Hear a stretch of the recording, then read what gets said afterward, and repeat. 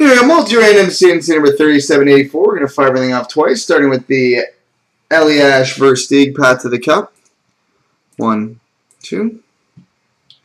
Devils. Now for the Niemi Crombie Path to the Cup dual jersey. One, two. Blues. Now for the Kadri Bergeron Competitors dual jersey. One, two. Bruins. Now for the Middleton Lindros dual autograph. One, two. Flyers. Now for the Shanahan Chelios dual autograph. One, two. Red Wings. And now for the free spot. One, two. NHLer 1976. So there you go, boys and girls, children of all ages.